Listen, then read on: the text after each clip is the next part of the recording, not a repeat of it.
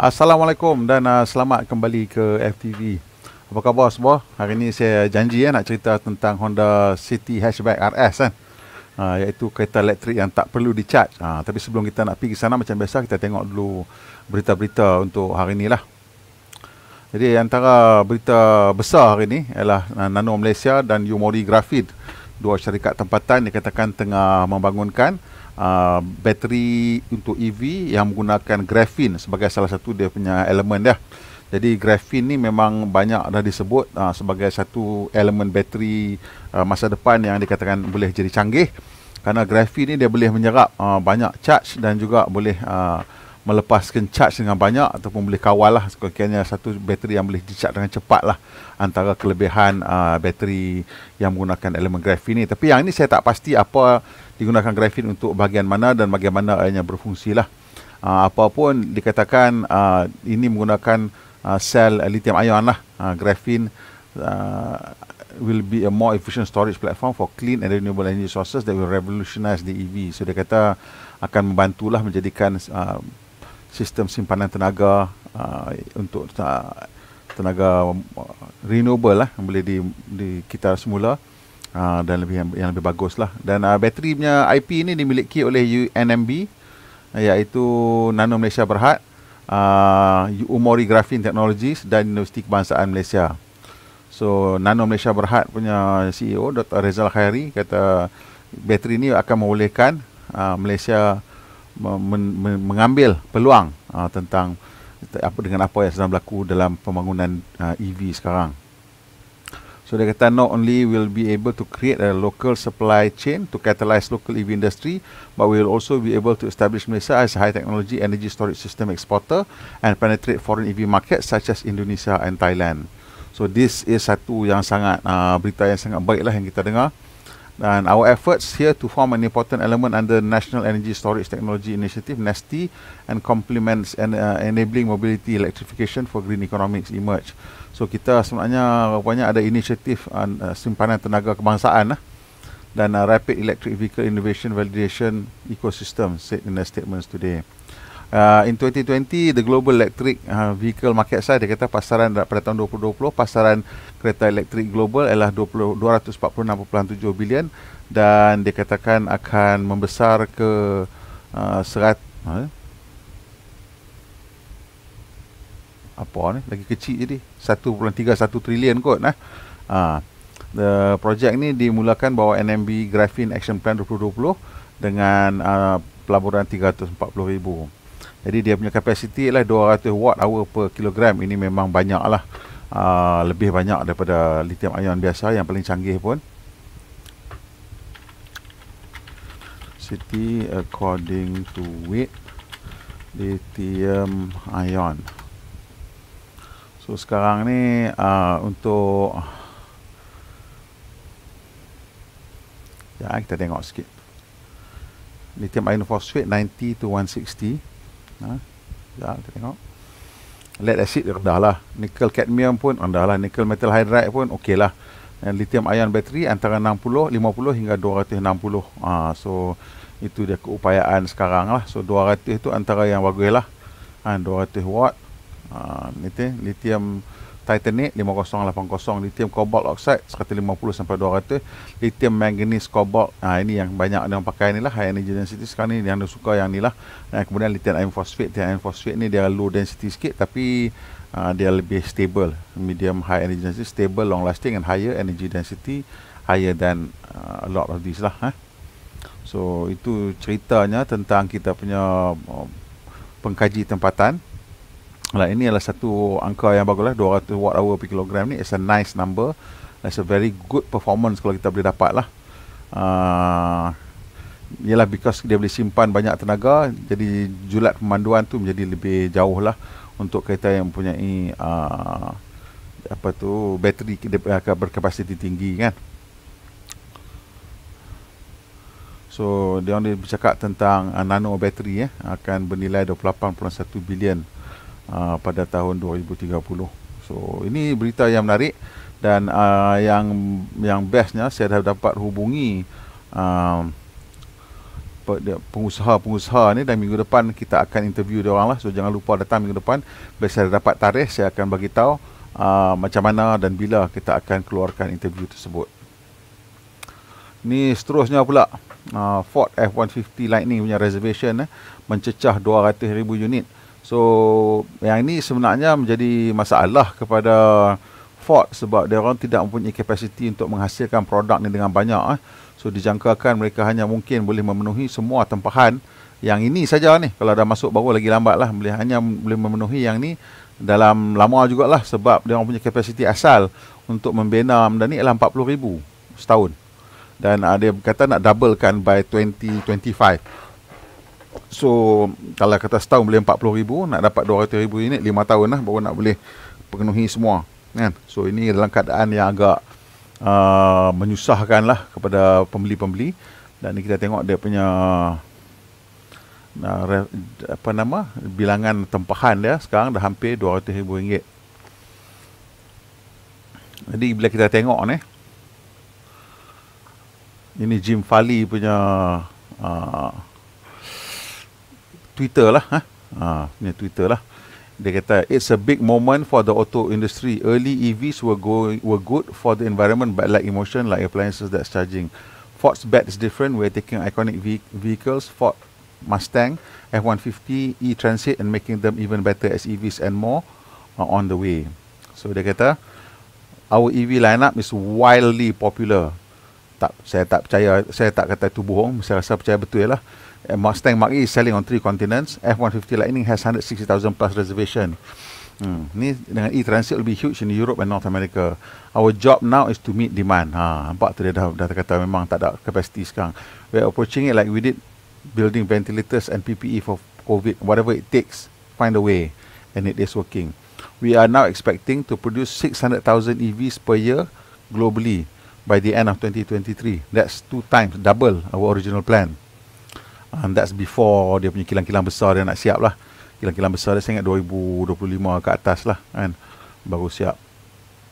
So ini perancangan Ford akibat saya dah cakap dah sebelum ni kan permintaan mereka-mereka syarikat-syarikat yang ada kereta elektrik dia sudah nampak bahawa permintaan untuk kereta elektrik dah tak masuk akal dan permintaan untuk kereta ICE semakin merosot. Ha, dan ini bukti ya Ford dah nampak dan yang lain kalau tak nampak lagi tak boleh nak buat apalah kan. Ha. Assalamualaikum Hadinato Waalaikumsalam Muhammad Izzuddin Waalaikumsalam. Norma Nano Malaysia. Betul Tahniah Nano Malaysia Betul. Ford sepatutnya percaya kontrak, kontrak manufacturing di China untuk bantu cepatkan production. Possible Ya dah Betul Mungkin. Hmm, uh, Dia orang pun ada partner sebenarnya kat China Tapi tak tahulah apa yang, yang berlaku kat situ. Yang ini ialah cerita daripada Audi lah. Dia akan ganti Q8 lah Q8 ni dia, dia punya uh, SUV besar lah kan ha? so dia akan gunakan kilang di Brussels mereka untuk hasilkan Q8 uh, e-tron lah iaitu bateri elektrik punya so yang ni akan datang dalam masa tak berapa lama lagi lah So ini cerita tentang uh, bagaimana kenapa Samsung, Panasonic dan syarikat kereta lain seperti Tesla sedang mencari jalan untuk menggunakan bateri yang tidak menggunakan kobalt kan. Jadi kobalt ni antara masalah yang kita tahu ialah ianya datang daripada negara Kongo. Kongo banyak menghasilkan kobalt dan uh, kobalt itu dihasilkan dengan cara yang uh, mungkin kurang elok lah iaitu menggunakan uh, tenaga kanak-kanak dan uh, merangkap uh, manusia ataupun pekerja-pekerja tu dipaksa secara tidak sukarela untuk menghasilkan kerja melombong di situ. Dan juga keadaan lombong juga dikatakan sangat berbahaya lah di sana kan So salah satu lagi sebab kenapa uh, dia orang uh, masalah ni lah adalah datang daripada Kongo. Kan benda tu supply dia terhad. Uh, bila terhad harga jadi mengarut lah sekarang kan. Uh. So for mass electrification to happen there are lots of sentiments that cobalt needs to be eliminated or reduced to the bare minimum. Jadi ramai orang kata sekarang nak kena buang lah cobalt ni kalau boleh carilah resipi yang tidak menggunakan uh, cobalt kan. Uh, the majority of the world's battery grade cobalt reserves are located in the Democratic Republic of Congo where the mining of cobalt is associated with human rights abuses and child labour. Ha, salah satu sebab lah kenapa Chinese inventors investors control about 70% of Congo's mining sector itu satu lagi jugalah. China also has over 80% control of the cobalt refining industry, where the raw material is turned into commercial grade cobalt metal suitable for use in EV.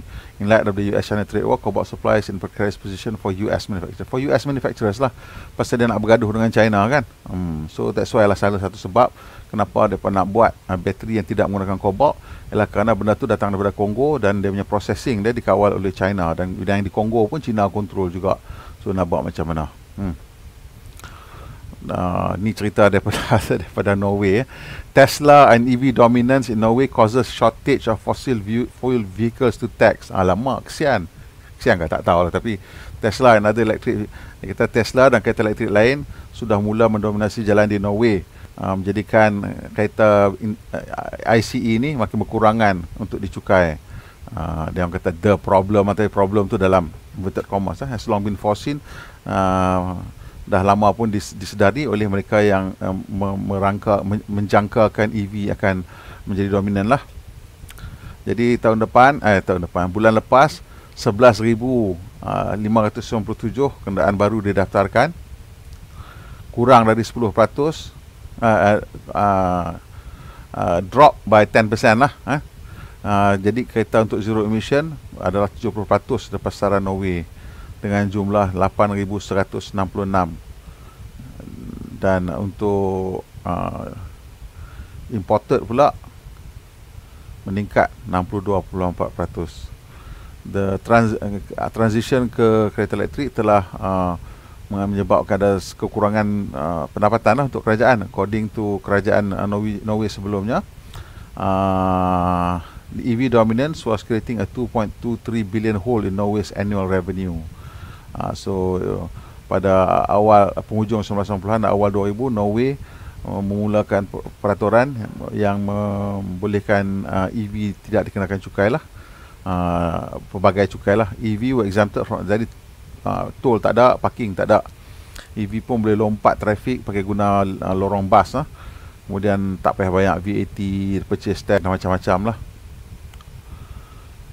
So ini masalah dia adalah kurang pendapatan lah untuk pihak kerajaan lah. Jadi macam mana dia nak uruskan ni, ha, ini akan menjadi satu pengajaran juga untuk kita di Malaysia ni kan lah. Dengan uh, kereta fosil semakin uh, mengecil bilangan dia, the government is thinking of stripping electric vehicles from exemption. Ni memang akan jadilah bila dah habis dah semua dah ganti dah bolehlah start balik cukai kan kereta elektrik. Sebab apa? Kita nak membersihkan alam sekitar. Jadi cukai tu it's only fair that kita kena bayar lah macam road tax ke apa ke. Uh, cuma sekarang ni nak kena galakkan uh, pembelian EV supaya dah tak ada banyak kenderaan yang mencemar. Itu je dah cerita dia. So dia orang juga mungkin akan perkenakan cukai mewah lah untuk EV yang mahal-mahal lah kan. So saya rasa ini semua benda-benda yang biasa yang akan uh, boleh berlaku. Kemudian ni kita tengok daripada Tom Mollock ni ya. Macam Tom Mollock ni dia ada juga dia punya YouTube channel dia nama dia State of Charge lah. Jadi kat sini dia bawa Lucid lah. Lucid setengah bagi kereta dekat media di US sekarang dan dia nak tunjuk ni lah. Ha ni.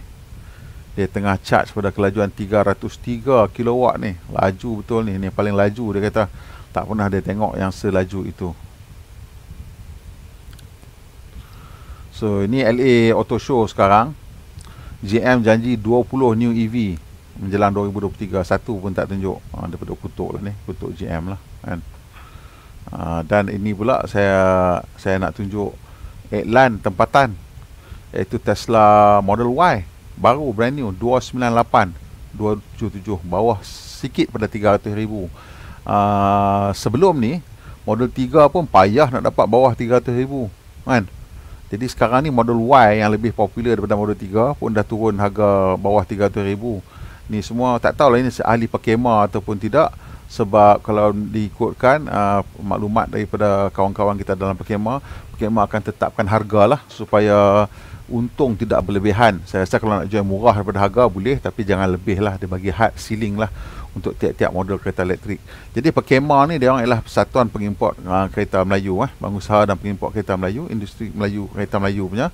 Jadi dia orang uh, sedang membelanjakan sejumlah wang untuk membina seribu pusat mengecharge di seluruh negara kerana dia orang bercita-cita untuk menjadi pengimport ataupun pelopor teknologi EV dan nampaknya uh, ini akan mungkin jadi uh, realiti lah kalau dia boleh buat dengan segera. Dan ini berita daripada Thailand lah. Uh, MG EP Plus EV on sale in Thailand now with PM2. Jadi MG EP Plus ni, ini ini kereta ni lah, kereta wagon ni. Jadi kereta ni sekarang dijual di Thailand dengan uh, jarak jarak mana 380 ni NEDC lah so mungkin 330 lah. Jadi dia punya harga dia 128,000. Elektrik tau full elektrik ni ya. So ini harga dia 128,000. So ini uh, ini nampaknya lah eh, nampaknya akan menjadikan kereta elektrik lebih-lebih popular lagi di Thailand lah. Sebab sebelum ni MG ZS EV ialah SUV so sekarang ni diberikan pula uh, kereta wagon lah jadi wagon ni pun satu kenderaan yang yalah dia unik lah. Bukanlah semua orang suka wagon tapi yang minat tu akan minat sangat lah. So saya rasa ini akan uh, dapat uh, tempat jugalah di hati pembeli ya so kereta ni dia ada uh, front wheel drive lah So dia punya motor dia menghasilkan 160 kuasa kuda dan 260 Newton meter torque. So agak selesa lah torque dia tu. Dan uh, kuasa dia daripada bateri 50.3 kWh. Uh, jadi dia kata 380 lah. Tapi saya rasa mungkin 350 tu lebih realistik lah untuk dia punya range tu. Mungkin kurang sikit pada tu. Jadi charging uh, dekat rumah dia bagi home charger ataupun wall box boleh 7 kW. Jadi untuk 0% ke penuh ialah 7 jam dan 15 minit. Kalau menggunakan charger 50 kW DC memerlukan masa 40 minit untuk sampai 80%. Untuk di Thailand MGEP diberi waranti 8 tahun ataupun 180,000 km. Kalau memerlukan uh, repair uh, dia orang boleh ganti kod modul lah jadi tak perlu ganti seluruh battery pack So ini satu perkembangan yang juga bagus. Pasal ramai orang risau lah tentang battery pack ni macam mana. So kalau boleh tukar modul adalah lebih bagus lah. Tapi saya rasa yang paling bagus sekali kita boleh tukar individual cell lah. Uh, Kita tak tahu macam mana di masa depan. Tapi saya rasa taklah susah sangat untuk kita tukar individual cell Tapi kena terlatih lah orang yang buat kerja tu Supaya tak mengganggu sambungan kepada sel-sel yang lain lah Pasal ada banyak sel dalam tu Especially kalau pakai sel bulat lah So akan mungkin ada beribu-ribu sel dalam tu. Kena pastikan uh, ianya boleh diperbaiki dengan betul lah.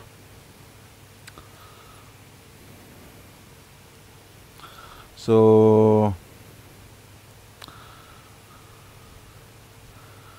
untuk full charge MG ni dia kata lebih kurang 200 watt ataupun 25 ringgit lah kan. Maintenance selama 5 tahun atau 100 ribu kilometer tidak akan melebihi 1000 ringgit. Tengok tu dia janji 5000 1000 ringgit setahun 200 saja. Servis. Ah. So ini lagi lah perkembangan.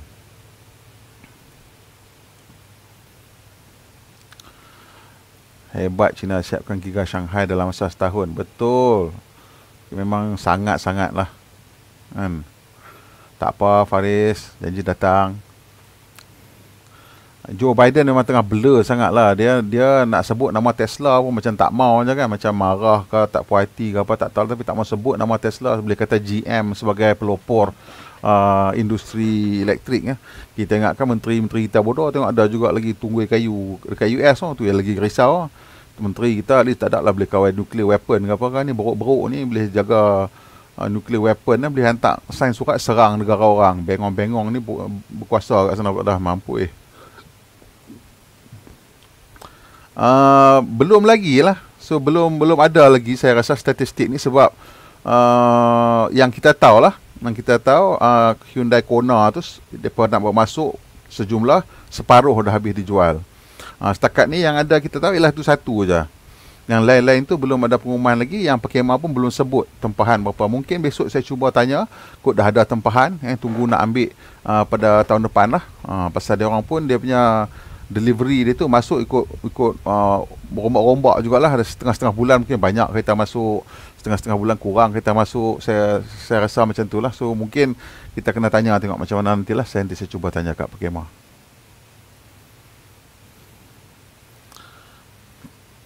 uh, van rusa tak adalah rasa macam kereta aku. Van rusa rasa macam van lah. Pasal itu memang tak dia tak dia taklah janji pun rasa macam bawa macam dia kata lah kat iklan tu tapi kira tak adalah rasa macam rasa macam bawa van kecil lah tak tahulah bab politik ni kan kan. Melawat kilang Honda di Melaka. Uh, belum ada peluang lagi nak melawat kilang Honda di Melaka. Jadi uh, ni saya nak cerita tentang Honda City lah. Jadi Honda City ni pada saya ianya satu uh, produk yang uh, macam mana nak cakap satu produk yang sangat bagus lah sangat bagus uh, kerana ianya sebenarnya kereta elektrik yang uh, datang dengan range extender punya arrangement maksudnya dia ada enjin yang bertindak sebagai genset untuk mengecharge bateri Ha, jadi bila dia mengecharge bateri macam tu, kita dah tak payah risau untuk charge bateri. Saya ada juga kawan-kawan kat sini kita kata kan, ah, sekarang ni nak beli kereta elektrik tak boleh. Sebab charger tak cukup kat luar tu tempat mengecharge. Jadi saya setuju lah, saya kata memang betul ya. Nak beli sekarang untuk, kalau kita hanya boleh beli satu kereta, tak boleh beli lagi lah. Tapi untuk kereta kedua, kereta ketiga, boleh lah. Sebab kalau kita nak jalan dekat-dekat saja, boleh charge kat rumah kan. Kita semua dah faham dah benda tu. Uh, cuma sekarang ni ada satu peluang iaitu kalau nak rasa macam mana bawa kereta elektrik tapi takut bateri habis dan tak cukup tempat charge pi cuba pi test drive saya minta pi test drive Honda City ni tak kira lah hatchback ke tak kira lah sedan ke janji dia RS dia akan menggunakan sistem ataupun teknologi uh, hybrid IMMD Honda. Jadi jenis IMMD ni dia sama lebih kurang macam Nissan punya e-Power, dia bertindak sebagai range extender. Maksudnya range extender electric vehicle ni REEV. So REEV ni saya tunjuk sikit lah.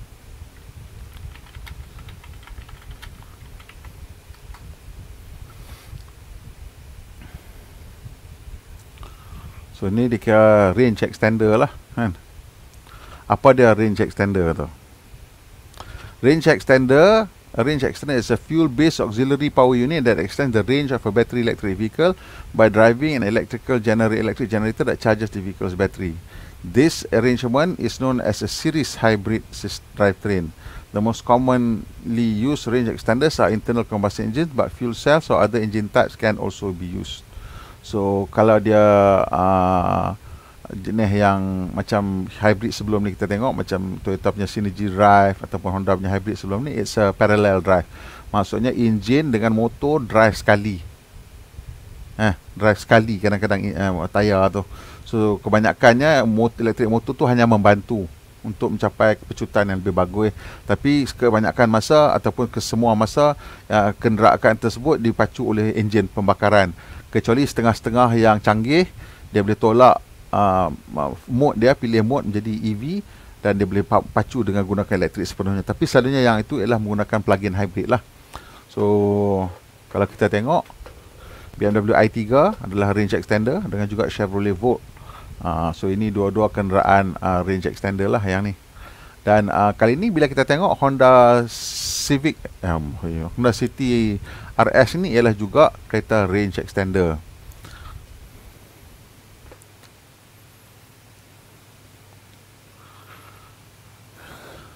Adakah budaya kerja kilang di Toyota dan produk ada seperti syarikat kereta Jepun lain yang memiliki budaya kerja? Kalau di di Perodua memang rasa adalah bunga-bunga uh, budaya kerja Jepun tu. Ha. Sebab dah lama dia orang kena train eh. Jepun kat Perodua dia strict. Ha, lain sikit pada Jepun kat tempat lain. Ha, saya rasa memang dia orang serius lah. Perodua sendiri pun serius. So kalau bos Jepun marah hampir komplain hang kena marah ha. Dia siapa buat macam tu kan? So Syah, Syah, Syarizan Sulaiman kata Honda CRS ni saya fikir panjang kalau nak beli. Kalau 2-3 tahun dulu mungkin. Sekarang dah ada BEV, baik beli BEV. Ha, ini memang satu uh, pecahan pendapat lah. Maksudnya kalau tanya saya pun, kalau nak lagi shock, uh, beli BEV terus. Tapi realitinya tempat charging station tak banyak lagi. Jadi kalau rasa saya rasa dalam tempoh beberapa tahun lagi ni uh, yang hybrid jenis macam IMMD kita pun apapun jenis hybrid ada relevan lah untuk untuk kita merasa pengurangan dari segi uh, uh, kos kos bahan api lah. So ni saya nak share sikit uh, video eh yang saya rakamkan uh, uh, baru-baru ni. Tapi cara dia atok dia punya hybrid tu, dia macam kereta elektrik tapi yang ada range extender. Maksudnya, uh, kebanyakan masa uh, roda kereta ni dipacu oleh motor elektrik. Tetapi ada masa-masa tertentu Iaitu sebagai contohnya Bila kereta sudah masuk kelajuan tinggi lah Kelajuan tinggi macam mana? Kelajuan basically kalau kereta tu dah biasa Bila masuk gear 5 Maksudnya dah Dapat dengar throttle kan? Ha. Dah masuk gear 5 Masa tu eh, Enjin tu akan hantar kuasa terus kepada roda Jadi masa tu saja kereta diguna menggunakan enjin tu sebagai sumber pacuan. Masa-masa lain maksudnya dalam kawasan pekan kalau kita pandu kebanyakan masa kereta ni akan dipacu oleh motor elektrik. Ha, dan ini menjadikan kereta ni macam kereta elektrik tapi ada generator. Sebab ada juga kawan-kawan kita tanya kan kalau bawa kereta elektrik nanti habis bateri nak bawa macam mana? Kena bawa generator kan nak bagi lagi senang. Ah, ha, tapi susah-susah apa lagi dah. Honda dah buat benda tu untuk kereta ni. So dah memang ada generator Genset tu ialah enjin dia Dan pada masa-masa biasa Macam sekarang ni Masa saya tengah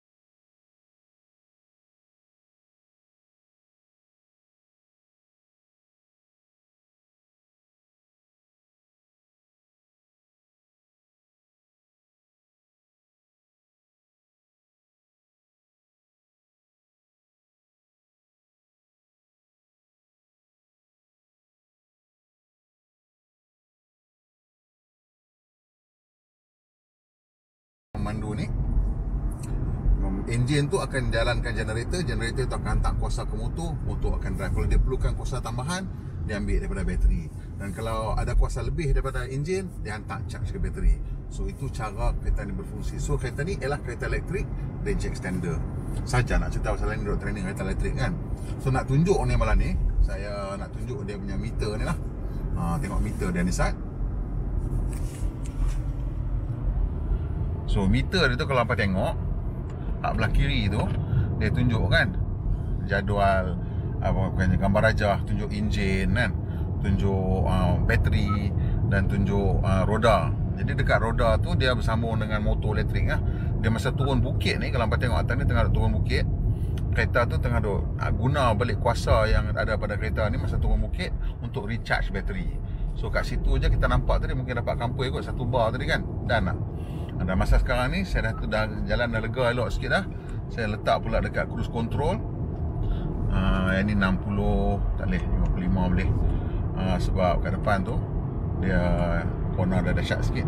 So masa ni dia dipacu oleh uh, dia tak dipacu dia tengah hantar power balik ke bateri nampak ah uh, aliran kuasa. Uh, masa ni dia ambil kuasa daripada bateri saja. Tadi start dia hidupkan enjin.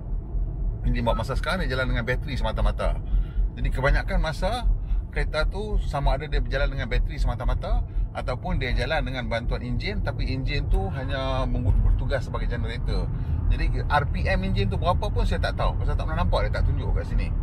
Ha, sebab tak penting pun. Yang pentingnya ya enjin tu membekalkan kuasa elektrik lah kepada kereta. Dan kereta ni juga ada adaptive cruise control lah. So saya nak tunjuk ni semua apa? Nak tunjuk kata dia punya range lah. So kereta ni dia tangki kecil ni. Tangki tak silap saya besar Activa aja. Tapi dia punya 30 liter lah lebih kurang. Tapi tengok dia punya julat pemanduan tu. Tadi masa saya dapat 600 lebih sikit. So dan tengok dah 18.5 km so kalau kita bawa elok-elok saya rasa kereta ni 20 tu boleh buat boleh capai. Ha, tapi untuk malam ni saya saja nak tunjuk sebab ada kawan-kawan duk tanya pasal kereta elektrik banyak kan yang mempunyai jadi mungkin kali untuk untuk langkah pertama lah saya tak berani nak beli kereta elektrik sebab dia tak ada apa tempat charge banyak kan. Boleh try kereta ni. Pasal dia punya cara pemanduan dia bila kita bawa memang rasa macam kereta elektrik. Dari segi dia punya torque memang datang daripada zero terus ada maksimum torque dan uh, bila kita cuma bila kita torque kita nak dapat torque maksimum tu kan uh, sekarang ni saya kita dah bawa lebih kurang dekat dalam 50 km sejam kan boleh kita tekan maksimum dengar enjin tu bunyi kan? Dengar enjin bunyi ya saya tunjuk sekali ya power flow ah. So ni kita tengah bawa light-light Kita tekan maksimum Buat dia start engine Tadi hantar tu baru buat maksimum Buat maksimum. Ha. Dan dia masuk ke hijau Dia Regen lah Regen maksud dia recharge balik bateri. So kereta ni memang saya rasa satu benda yang saya nak kata terima kasih kat Honda lah. Sebab orang tengah duk cerita tentang hybrid kan? Tentang kereta elektrik. Dan Honda bawa kereta ni menawarkan satu teknologi baru yang kita tak pernah nampak dalam hybrid di Malaysia iaitu range extender hybrid. Di mana pemacuan atau pemanduan kereta ni berasa macam kereta elektrik tapi kita tak pernah perlu risau macam mana nak charge dia pasal dia sentiasa charge dia sendiri. Tapi bateri tu kecil tau. Uh, kalau kata kita turun uh, ceron lah kata daripada um, genting sempah kita turun sebelah sana nak pergi ke uh, bukit tinggi tu kat bukit pertama lepas Petronas genting sempah tu kita turun tak sampai bawah tu dah penuh balik dah bateri. Kalau kata masa tu dia ada tinggal 2 bar. So bateri dia kecil lah.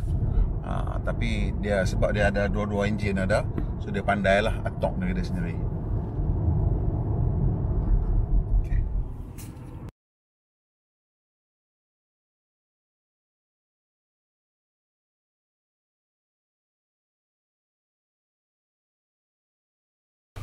Okey, jadi boleh tengok ah kita tunjukkan ni ah, kereta Honda City uh, Hybrid ni. Uh, saya dah panggil City RS lah.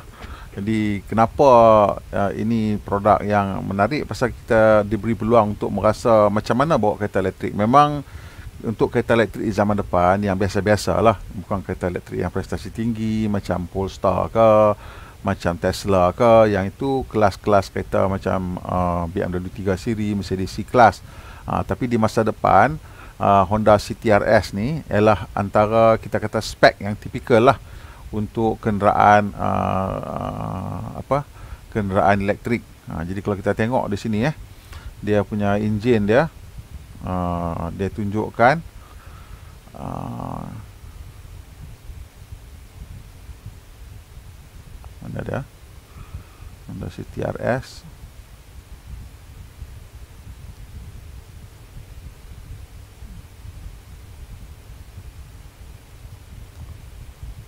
spesifikasi mana dia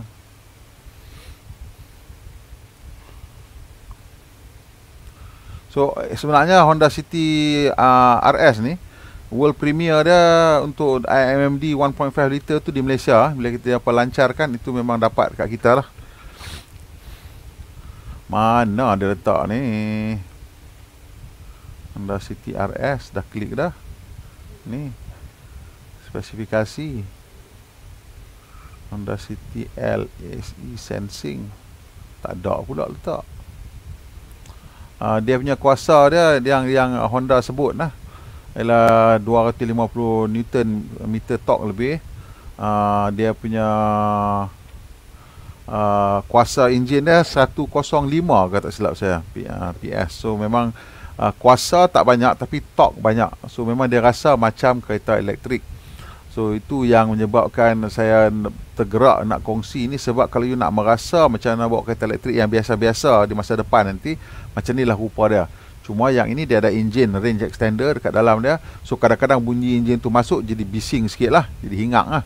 Tapi kalau masa dia dalam pekan kalau kita bawa dengan tidak terlalu cepat lah tak terlalu tergapah-gapah ke tak terlalu banyak tekan maksimum uh, kereta tu bertindak sebagai kereta elektrik se hampir sepenuh masa dan bila enjin tu hidup pun enjin tu hanya sekadar bergerak pada kelajuan yang rendah lah untuk mengecharge uh, bateri ataupun menghantar kuasa ke elektrik motor. So dari situ kita memang dapat merasa bagaimana nak bawa kereta elektrik uh, tanpa perlu risau tentang dia punya apa tu orang panggil uh, fuel economy dia tadi apa tu battery economy kat mana nak charge apa semua tu. Saya tunjuk lagi sekali lah ni ada kawan-kawan tanya. Honda set. So meter dia tu kalau uh, ya yang biru hijau ni. Kiri tu. Uh, yang biru ni, yang biru hijau ni memang ialah dia punya power indicator lah. Jadi kalau yang kat bahagian hijau tu dia tengah regen macam sekarang ni, dia tu jarum tu dekat dekat hijau tu, maksudnya dia tengah regen lah. Ha, maksudnya dia tengah regen.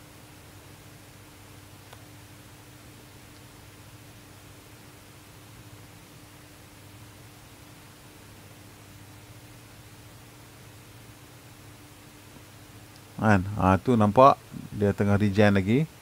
Ah tu nampak dia masuk ke biru that means enjin hidup. Uh, belum lagi dia sampai lepas pada bar yang kedua tu baru enjin hidup selalunya. Kalau masa kita kekalkan uh, partial throttle lah, throttle tak buka besar dan uh, dia akan duduk menggunakan uh, bateri elektrik sampailah bateri ni turun ke 3 bar. Bila dia turun ke 3 bar dia akan selalunya akan hidupkan enjin untuk imbangkan kuasa tu baliklah. So dia motor elektrik tu akan banyak menggunakan kuasa daripada enjin dan kurang menggunakan kuasa daripada dia punya battery pack. Pasal battery pack dah turun sampai kalau 3 bar tu dia selalunya tak gunakan dah. Ha, so kita nampak kat situ. Saya bawa dengan agak relax-relax ni ya. Banyak gunakan uh, half throttle partial throttle. Uh, bila saya tekan enjin masih tak hidup nampak? Saya tak lepas uh, bar yang kedua tu lah. Dan satu bar kecil bar besar kan? Bar besar yang kedua tu So itu yang yang nak nak saya nak tunjuk tadi. Dan bila saya tekan nak ref maksimum ni tengok kat sini bila kita cuba tekan ref maksimum lah nak tengok uh, pecutan lah. Dan juga nak tengok kuasa ataupun torque yang diberikan yang dihasilkan uh, memang bunyi enjin tu akan dengar dengan jelas lah. So dia dia uh, sini tak ada apa lagi. Uh, dia tu. Macam tu tu tekan tu naik sampai habis merah tu. Sampai sampai ke hujung tu dia bunyi enjin dia kuat lah. So kita tengok lagi sekali tu demo buat dia start nampak? Dua-dua menyala. Ha, jadi bila lepas pada turun pada bar yang kedua tu dia akan padam dan tidak menggunakan uh, enjin lagi dah. So itu yang membolehkan kereta ni uh, bergerak uh, tanpa perlu charge. Ialah ada enjin. Enjin tu bertindak sebagai generator. Enjin tu kecil lah dan ianya dapat tanya kenapa kalau untuk genset still besar lah besar satu liter lebih enjin kan ha. so kenapa uh, gunakan itu untuk generator? Sebab of course enjin tu juga digunakan untuk bila dah, kereta ni dah masuk kelajuan tinggi. So kalau kita bayangkan kereta kita kita kata kereta kita biasa gear 5 kan ada gear 5 so bila kereta kita tu dah masuk gear 5 tu selalunya enjin kita tak bergerak uh, pada kapasiti kuasa yang tinggi lah Uh, yang ini apa berlaku ialah bila kita masuk ke gear atas tu maksudnya ada, ada kelajuan yang ditetapkan enjin tu akan disambungkan terus kepada roda so dia akan ada macam direct drive pergi ke roda. Tapi bila dia turun pada kelajuan tu ataupun pada masa tu dia memerlukan bantuan pecutan elektrik motor akan tolong. Sebab elektrik motor ni dia tak begitu cekap pada kelajuan tinggi lah. Uh, so sebab itu dia tak digunakan. Dan uh, kemudian saya nak tunjuk ni lagi satu. Uh, yang ni atas yang ni pula nak tunjuk bila kita panjat bukit dan turun balik. Dia kata dia boleh recover berapa bar, berapa bar kuasa kita boleh recover. Ha, kita tengok start video ni. Lepas tu kita akan turun balik sebelah sana. Dia kenapa saya nak tunjuk panjat bukit dulu pasal nak tengok kita boleh drain bateri tu paling sikit ke tidak. Dan tengok cepat berapa cepat dia akan boleh recharge balik bateri tu sampai penuh. Ha, pasal turun bukit ni saya rasa kurang pada 1 km lah. Mungkin setengah kilometer. Jadi kita naik setengah kilometer, kita turun setengah kilometer. Tengok berapa banyak bateri dia boleh recharge balik. So sebelum kita naik ni dekat pangkai bukit Tengok ke bateri tu. Kita ada 3 bar eh. Jadi saya cuba nak Jom ni kita panjat nak Masa nak panjat bukit tu Kita ada uh, 3 bar. So kita try nak habiskan lah Sebanyak mana yang boleh lah. So penyudahnya tak boleh juga Sebab macam saya cakap tadi Bila dia dah sampai Tahap 3 bar saja bateri tu Dia akan selalunya akan kekalkan enjin tu hidup. Pada banyak juga masalah untuk memastikan bateri itu tak turun uh, terlalu banyak sangat. Saya tak pernah nampak lagi kereta ni bateri dia turun sampai 2 bar. Mungkin atau mungkin dah sekali kot. Tapi selalunya dia sampai 3 bar dan enjin tu akan uh, terus mengecak je. Uh, so kita duduk tekan ni, saja tekan nak pergi naik bukit. Uh, bateri dah nak habis. That's why kat bawah pun uh, enjin tu masih hidup lagi. Uh, ni kecuali dah nak start. Nak nak start. Ya. Yeah. So, Nampak? Dia, dia, dia terus ni padahal bukan laju mana pun nampak ni. Bukan laju mana pun. Tapi dia terus charge sebab bateri dah kurang, dah tinggal uh, 3 bar. Jadi bila tinggal 3 bar dia takut bateri jadi flat. Dia start charging lah pasal kadang-kadang uh, selalunya lah sistem macam ni dia menggunakan uh, uh, bateri itulah untuk the main power kan. So dia tak boleh bagi sampai drop uh, drop habis. Pasal nanti jadi masalah pasal bila dia maximum torque dia guna gabungan antara bateri dan kuasa elektrik daripada ni apa tu enjin. So ni kita turun bukit dah. Ha, tengok sat bukit tu. So, kita turun duk charge okay. lah. So tengok ni dia sekarang dekat 3 bar. Tahu, saya tak tekan brake. Tapi dia regen tengok tahap regen dah kat situ kan.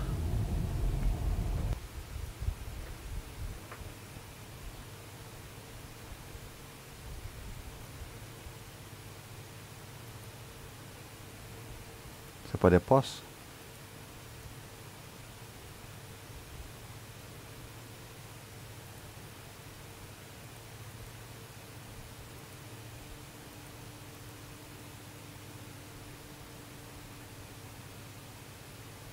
Saya pun tak faham.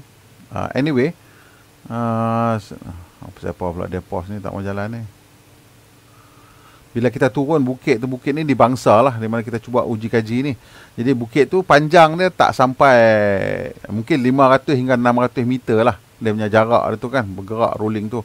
So bila dia rolling turun bukit tu dia boleh charge 2 bar.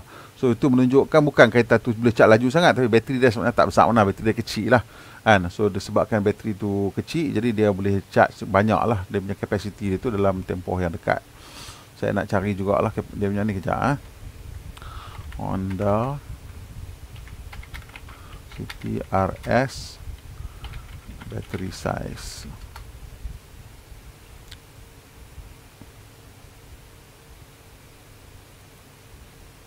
So bateri dia memang comel ha? bateri dia mengikut ni uh, number of motor sponsor battery type 1.3 kW betul ke? Kecil lah bateri dia. Uh, 1.3 kW saja bateri dia uh, 1.3 kW tu pun dah cukup untuk menjadikan ianya sebagai uh, range extender vehicle. Nampak ni REV dia kata. Uh, petrol hybrid REV range extender vehicle. Dan uh, enjin tu sebenarnya kita tengok dia punya compression ratio dia tinggi ya 13.5 dia ni ialah Atkinson cycle punya enjin lah. Jadi kereta hybrid ni banyak guna Atkinson cycle punya enjin kerana dia jimat minyak. Dan dan dan dia uh, masalahnya Atkinson cycle ni dia punya power density dia rendah. Ha. So because power density dia rendah dia macam tak apa sesuai sangat untuk pacuan roda macam biasalah. Tapi as a genset dia memang cukup bagus lah.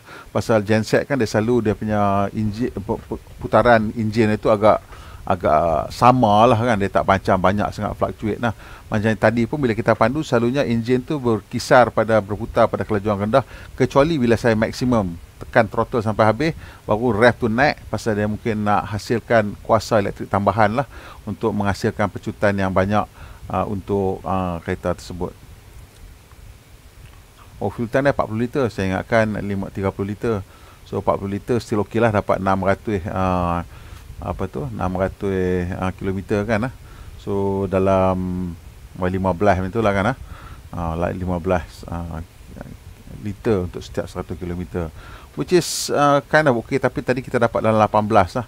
Liter per 100 km so that's that's going to be a bit more than than 600 km lah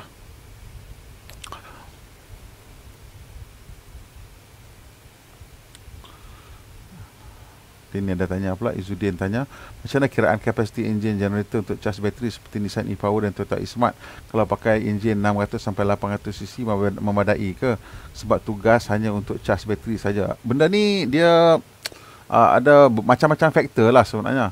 Dia bergantung kepada besar mana bateri kita kan dan uh, kalau bateri itu besar dan mungkin dia tak perlukan enjin yang lebih besar. Mungkin boleh pakai enjin kecil macam cakap.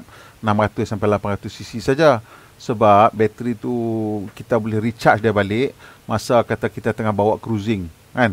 Pasal dia kapasiti dia banyak. Jadi kita nak pecut ke nak apa ke bateri tu cukup power untuk deliver maximum power. So untuk bateri yang kecil macam tadi tu 1.3 kW tu dia macam sukar sikit lah untuk dia nak provide maybe maximum power untuk motor tu hasilkan maximum torque pasal dia kena gunakan uh, enjin tadi tu untuk generator. Tapi kalau bateri tu cukup besar dan enjin tadi memang bertindak sebagai pure generator dan dia boleh mungkin uh, tak sebegitu besar. Tapi cukup lah untuk kita maintain dia punya battery balance semua untuk most situation.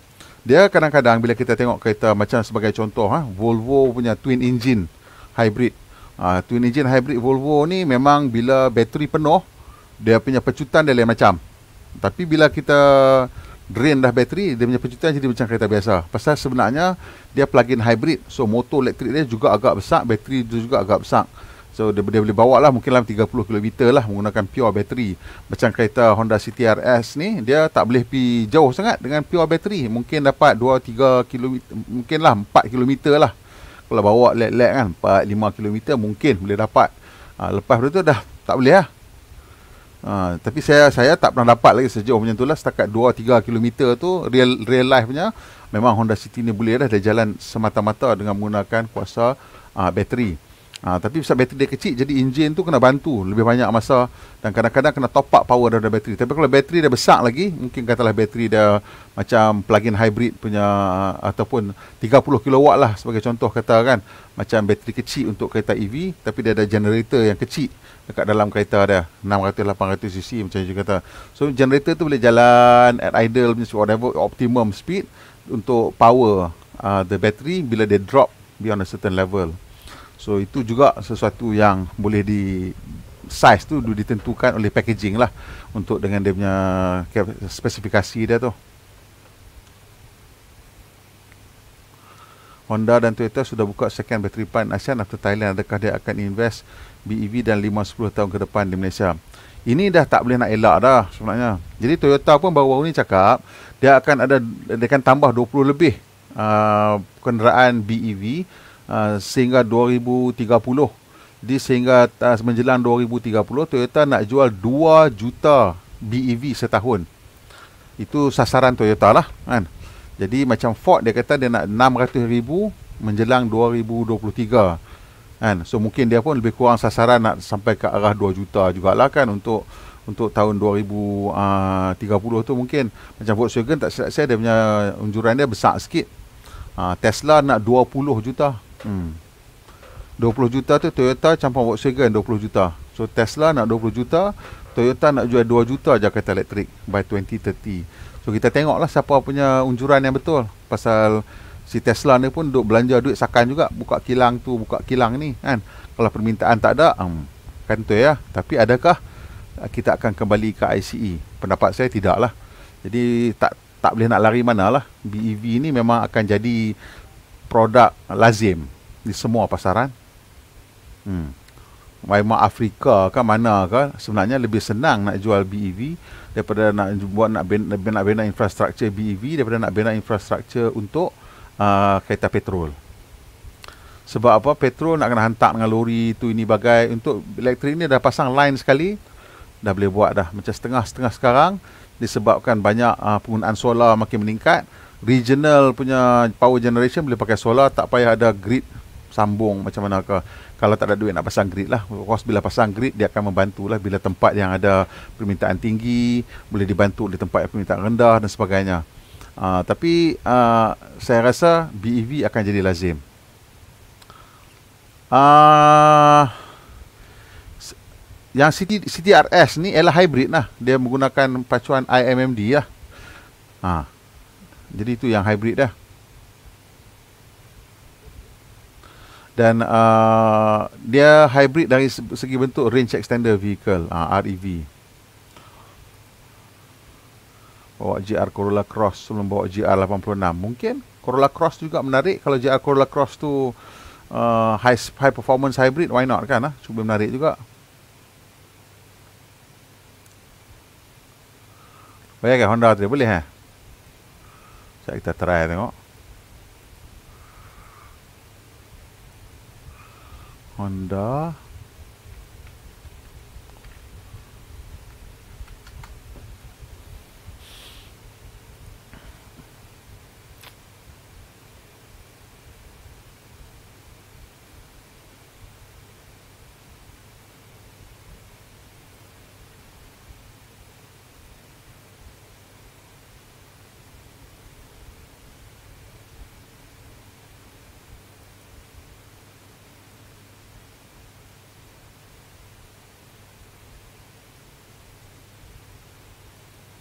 Tak ada pun RS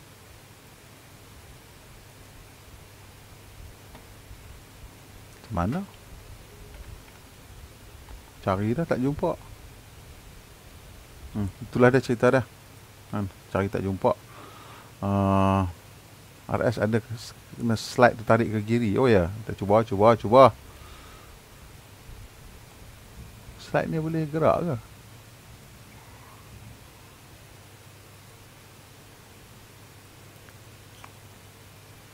Macam mana nak slide ke kiri Tak boleh pun Saya dah kecil kan ni? Tak jumpa pun Tak tahu aku cari tak jumpa Nanti apa cari yang dekat Honda punya website kan?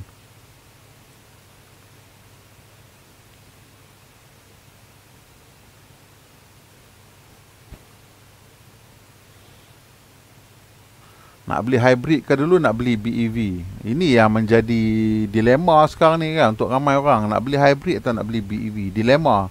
Dan um, saya nak bagi recommendation pun saya agak sukar tapi buat masa ni lah saya rasa kalau you nak jalan jauh kan nak gunakan kereta tu hanya satu kereta aja yang you boleh ada agak sukar kalau nak pakai BEV lah buat masa ni sebab bilangan tempat charge uh, on route charging tu kurang. Jadi untuk itu untuk hanya atas sebab tu je saya kata belilah uh, hybrid ni. Tapi kalau saya cakap macam tu dan tiba-tiba tengok-tengok tahun depan meletup kan. Scene EV ni meletup kan. Berpuluh-puluh model masuk jadi tiba-tiba charging station jadi berlambak-lambak pula dalam masa 2025 uh, dan of course uh, nak buat macam mana? Uh, bila kalau jadi macam tu then of course uh, dah tak ada masalah lah beli BEV kan. Kalau nak kira dari segi uh, nak penjimatan tenaga ni hybrid ada penjimatan tenaga tapi kita mungkin makan masa sikit lah nak kampui balik duit lebih yang kita belanja kat dia tu kan. So itu yang menjadi isu lah sekarang ni bila kita nak cakap macam tu. Pasal uh, kos hybrid memang tinggi daripada kos yang lain pasal dia ada dua sistem pacuan tak boleh nak buat apa So macam mana macam mana buat pun hybrid ni dia tak akan boleh kompetitif dengan enjin ICE ataupun tak boleh kompetitif dengan enjin uh, motor elektrik sebab dia ada dua-dua. So macam mana macam mana pun dia agak agak tersepit lah tapi buat masa ni dia memang make sense. Dan yang ini saya cerita sekarang ni pasal kalau nak rasa macam mana kereta elektrik pasal dia punya pacuan memang dengan dengan motor. So you dapat maximum torque daripada 0 RPM tu pasal Honda suka cerita pasal dia punya maximum torque tu 250 kan uh, Newton meter. So yang itu yang membuatkan kereta tu berasa uh, lebih bertenaga lah daripada Honda City biasa. Uh, so itulah dia ceritanya. Macam mana Hyundai Ioniq Hybrid? Okey tak tak banyak di jalan. Yang ini saya pernah bawa masa Hyundai Ioniq Hybrid ni saya memang cukup suka lah. Pasal dia memang uh, bateri dia pun agak besar juga. Yang tu tak saya dia boleh plug in lah. Eh tak ingat lah saya pun tak ingat. Saya rasa dia macam bateri dia besar jugalah. Dan kita bawa long distance pergi ke Terengganu dan memang menjimatkan dan memang senyap lah kereta tu kebanyakan masa. Bila terutama bila dia punya enjin tak berfungsi. Tapi bila masuk highway selalunya enjin akan hidup lah. Tapi saya bila memandu kereta elektrik atau kereta hybrid ni memang jarang bawa laju sangat sebab memang kita saja nak enjoy dia punya teknologi ya yang lebih uh, cekap pada kelajuan sederhana gunakan 30 kecekapan tenaga untuk menghasilkan 90% kecekapan tenaga. Something like that lah ha? using ICE to achieve electric punya efficiency that's right. Saya rasa Honda Insight dulu dia more parallel. Maksudnya kebanyakan masa uh, enjin memacu juga dan dengan bantuan daripada motor elektrik. Uh, so itu saya rasa dia orang more like that lah. Uh, tapi yang yang sekarang ni it's a serial punya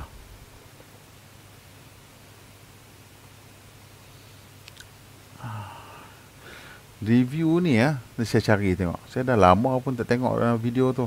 Tapi uh, saya kena tanya production house tu dia orang yang simpan? Saya tak tahu dia orang ada ke tidak.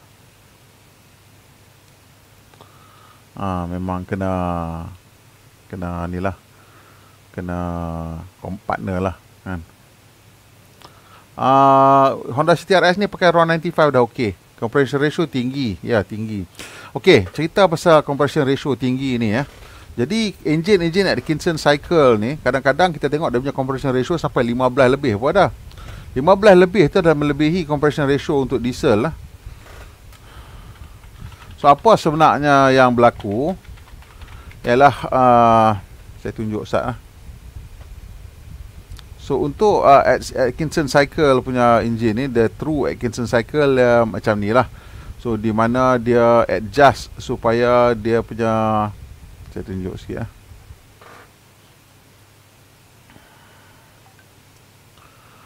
Uh, ni saya tak ni tak nampak sat. Sat sat sat.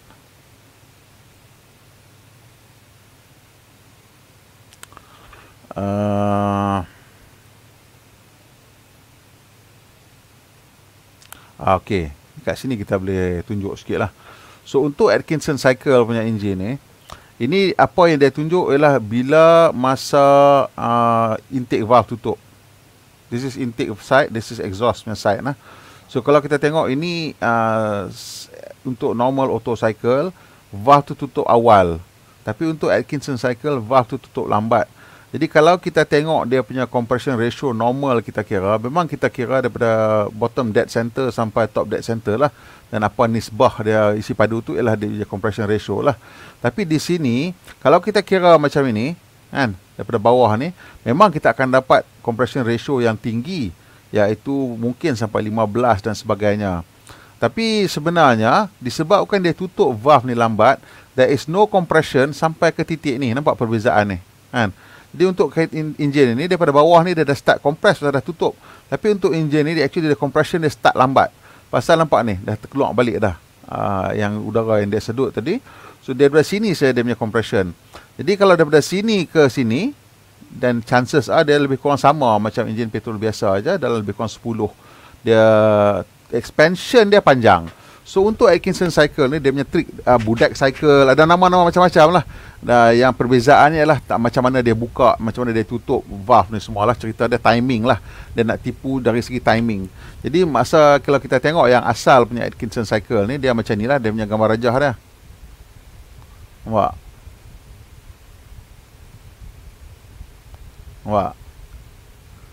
You nampak tak kat situ? Okay, so you tengok ni, tengok ni betul-betul ya. Eh? Saya tunjuk dulu sekali ya. Ini dia punya expansion dia. Nampak sampai situ. Tapi bila dia sedut, nampak dia sedut sikit dah. Compression dia. Tapi bila expansion panjang. Nampak? Tengok balik sekali lagi. Ni intake, intake sampai situ saja. Tapi bila power stroke sampai ke bawah. Nampak? Kan? Ha, tapi ini menggunakan mekanisme macam ni lah. Jadi untuk menyelesaikan masalah ni, ni, ni dia panggil Atkinson cycle. So, mereka guna the same uh, idea iaitu nak uh, compression uh, pendek tapi expansion panjang. So dia gunakan valve. Ha, tu dia gunakan valve ni dia dia trick sikit lah kat sini. So bila kita tengok dia punya expansion cycle uh, compression cycle 13 ke 15 tu uh, yang lebih daripada 10 tu sebenarnya ialah dia extra expansion. Uh, masa power stroke tu dia expansion dia lebih panjang daripada dia punya compression. Jadi bila expansion ni lebih panjang daripada dia punya compression, uh, kita kita kira Uh, macam mana nak kira technically? Technically dia dia dapat menggunakan lebih lah tenaga yang ada dihasilkan dalam enjin tadi tu lebih dapat digunakan untuk pergerakan piston. Itu yang cara dia orang gunakan untuk mencapai kecekapan tenaga yang lebih tinggi.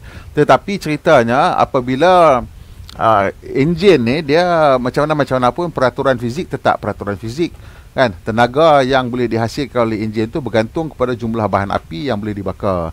Jadi kalau kita punya compression pendek ataupun uh, isi padu mampatan kita tu sebenarnya sikit daripada yang biasa kalau kita macam full macam ni kan dia lebih sikit. Jadi maksudnya nisbah udara stoichiometric dengan minyak sama kan It's still like 13 something. So you still ha- boleh masuk minyak tu tadi Berbanding dengan yang ini. Minyak yang boleh dimasukkan dalam ni Bahan api adalah kurang daripada yang ini.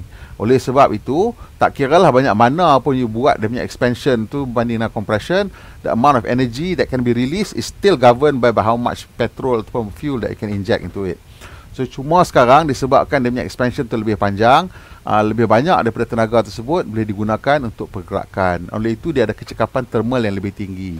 Dan exhaust dia yang keluar pun disebabkan expansion tu Mungkin uh, kurang panas. Uh, Dan ini ada isu-isu lain juga lah Tentang catalytic converter lah, itulah, inilah, apalah. Tapi engine Atkinson ni sekarang sangat sedang popular lah Volkswagen guna, Mazda guna, semua orang guna lah. Honda guna, Toyota guna. Semua orang menggunakan uh, Atkinson cycle which is basically a revised uh, auto cycle lah. It's still 4 stroke. Jadi itu uh, sebab kenapa uh, compression ratio tu nampak tinggi tapi sebenarnya tak. Jangan takut, jangan risau. Dia punya compression ratio sebenarnya normal aja. Uh, yang Atkinson cycle tu dia tipu sikit lah uh, kat situ. Huh? Ha? Petronas Iona betul? Saya tak sempat baca nak baru nampak press release tu. So um, untuk enjin uh, ataupun kotak uh, gear reduction elektrik motor tu katanya kadang-kadang isi sampai whole life. Bila kita whole life tu sekurang-kurangnya 15 tahun lah 10-15 tahun lah. Kadang-kadang sampai 20 tahun baru nak kena tukar lah salin kan minyak tu ataupun pelincir tu. So Petronas pun nak kena fikir kan cara nak buat pasal untuk uh, kereta elektrik ni. Dia punya coolant pun special. Uh, coolant dia pun special. Sebab coolant untuk bateri ni ialah low conductivity punya coolant. Uh, dia tak tak boleh tak menyebabkan short lah basically pasal dia cecair kan. Cecair kalau konduktif dalam elemen yang ada elektrik short lah kan. Mampu eh kalau bocor short. Yang ni kalau dia bocor pun dia tak short. Jadi dia punya coolant untuk bateri tu agak agak pricey jugalah. Uh, boleh sampai ribu juga nak tukar. Uh, tapi tak selalu kena tukar. So kira swing around about lah. Tengok kereta lah. Setengah kereta uh, 2 tahun, 3 tahun, 4 tahun tengok-tengok lah siapa manufacturer dah. So sekarang ni masih lagi terlalu awal untuk saya bagi tahu detail-detail macam tu. Uh, nanti bila dah lebih banyak sikit kereta elektrik, macam sebagai contohnya Hyundai Kona tu yang antara yang pertama masuk, uh, dia dah bagi dah sebenarnya maklumat-maklumat sedikit tentang servicing ni semua dan uh, agak mewah jugalah bila kena bila nak kena tukar dia punya coolant tapi mewah-mewah pun seribu lah kan kadang-kadang setengah kereta sekarang servis interval 2000 20000 km pun uh, apa 10000 km pun ada yang sampai beribu juga kan uh, so yang ni ada ada mungkin uh, 4 tahun sekali lah kena tukar kan maybe lah maybe lah kan uh.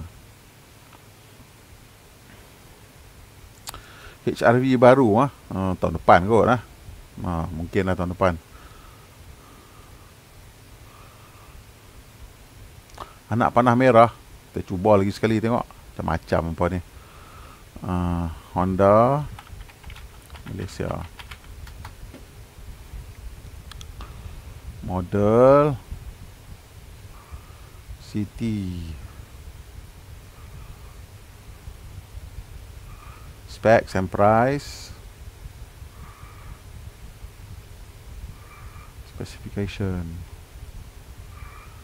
mana tak ada weh. Ni SEV aku tak nampak pun ni sensing. This still uh, 1.5 liter biasa tu. Mana ada harga ni? Saya tengok lagi sekali. Learn more. Ok oh, ni yang tu sampai dekat tu je. Kan? Tak ada. Detail. Tak tahu lah nanti kalau apa tahu beritahu lah betul-betul. Aku nak tengok soalan-soalan sikit kan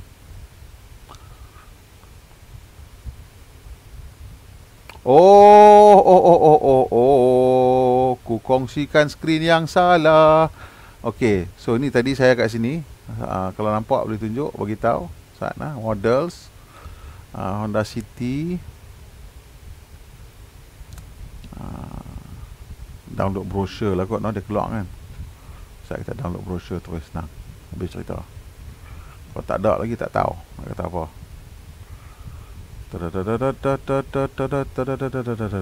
Ah, okay. Ah, file EHEV ni. Ah, okay, ni dia. So engine dia Atkinson cycle nampak tu dia kata.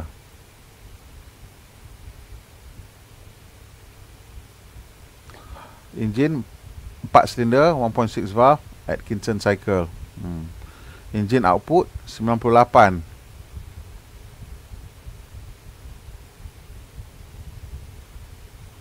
98 PS 72 kW Maximum torque 253 Maximum torque engine ialah 27127 Jadi bila mereka sebut Mereka nanti sebut 109 dengan 253 Jadi masa mula-mula dia keluarkan spesifikasi ni Saya pun heran juga kenapa dia tak campur je. Pasal kalau dia campur Barulah betul sebagai uh, apa tu parallel hybrid kan tapi rupanya dia bukan. Dia jenis range extender. So hanya satu benda saja yang memacu pada satu-satu masa. Jadi bila enjin memacu Dia hanya dapat 98 kuasa kuda dan 127 Nm Tapi ini hanya berlaku pada kelajuan tinggi dah. Dan uh, untuk uh, motor 109 PS dengan 253 Nm torque. Jadi itu pasal sebab Honda sebut Maximum power dia 109 dan maximum torque dia 253 Pasal kebanyakan masa ini yang menjana dan itulah yang maksimum. Dia tak boleh campur. Ha, kalau dia tunjuk ni jadi lagi rendah lah. Ha, pasal ini bertindak sebagai generator kebanyakan masa dan hanya menggunakan uh, digunakan untuk pemacuan bila dah kerajuan tinggi. Dia pakai elektronik CVT uh, electric continuous variable transmission. Electric uh, continuous variable transmission maksudnya dia tak ada gear lah. Dia pakai electric motor tadi. Dia continuously variable pasal dia memang tak ada gear lah. Bila dah laju dia akan masuk kegunakan enjin uh, pacuan. Uh, tu dia cerita dia Honda tadi tu.